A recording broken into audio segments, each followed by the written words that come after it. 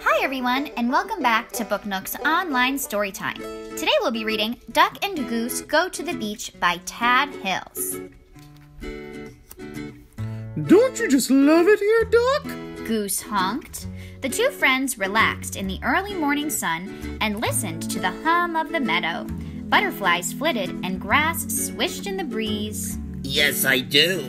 Duck agreed, Let's never leave. said Goose. They're having a really nice time. Suddenly, Duck jumped up.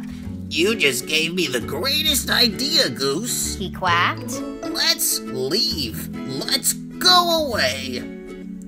A what? Goose honked. Away. Let's take a trip.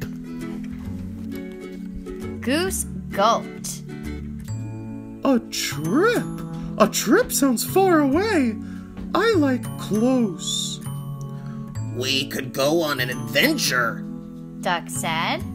An adventure? That sounds scary. Goose honked. Come on, Goose. A hike might be fun. Duck quacked. A hike? Said Goose. That sounds like a fine way to twist your ankle. Duck sighed. He gazed across the meadow toward a distant hill and began walking. Goose followed. I will walk, but I will not hike. He grumbled. Goose is really worried about adventures. Why would anyone want to leave this meadow? Goose wondered aloud. It has everything right here. Like this stump, uh, this hollow log, this gurgling stream. Our ball, of course, the lily pond, and don't forget the shady thicket. Duck and Goose floated along a stream they'd never floated along before. They walked by a pile of stones they'd never walked by before, and past the biggest tree they'd ever seen. They walked across fields and up and down hills.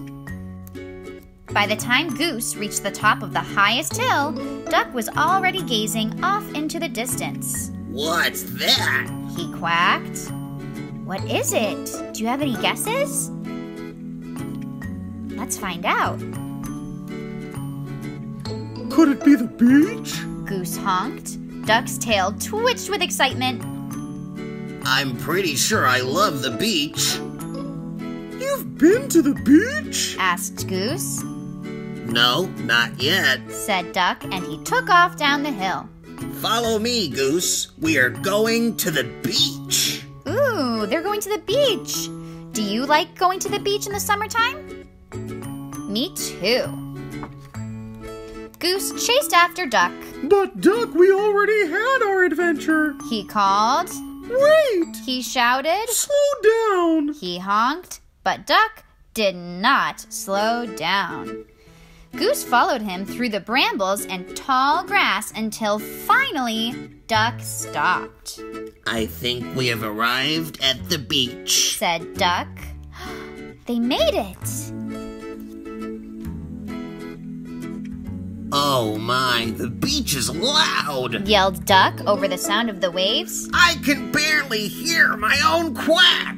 Goose stared at the vast stretch of sky, sand, and sea. Isn't it magnificent? He said. Oh dear, the beach has so much water. Quacked Duck. I feel tiny. Have you ever seen so much sand? Honked Goose. It's getting in my feathers and it's too hot on my feet. Said Duck. Let's go. Go swimming? Good idea, Duck. Said Goose, and he raced to the water's edge. Goose doesn't seem scared anymore. No, Goose, wait for me. Duck dipped his hot feet in the water. Goose, you know these waves are very. Quack, quack, woo! These waves are very fun. Is that what you were going to say, Duck? Honked Goose. No, not exactly. Goose loves swimming, but what happened to Duck? Looks like he has seaweed all over him. The two friends strolled along the beach. They met the locals. Some were friendly. Those are nice birds. Others were not. Who's that? A crab? I think he's trying to pinch them. Some were shy. Others were not. Goose thought Duck might enjoy searching for sea creatures under the rocks and seaweed. He did not. Be careful, Goose. You don't know what's in there. Duck quacked. That's so silly. First, Goose was worried about everything, and now Duck seems to be worried about everything. They built a drip castle. And they listened to the gentle roar of the ocean from deep within a seashell. It made Duck homesick. It sounds just like our gurgling stream. He quacked. Oh, he misses home. Later in the day, when the sand had cooled and the waves had settled, Duck and Goose relaxed. I like the smell of the beach. Goose said. Me too. Duck agreed. But not as much as the meadow. Well, there's no place like the meadow. Honked Goose, That's very true. said Duck. So, in the late afternoon, Duck and Goose followed their long shadows home. They talked about their exciting day and about the friends they'd met. They talked about the hot sand and the cool water, the noisy crashing waves, and the quiet tidal pools. They're on their way back home. Back in the meadow at last, they watched the sunset.